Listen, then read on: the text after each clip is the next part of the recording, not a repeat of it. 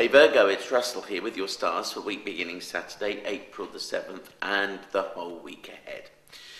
Venus squares Mars in mutable signs, and you're a mutable sign. That means this weekend you do have to be very wary of anything to do with career and ambitions versus, well, anything to do with you.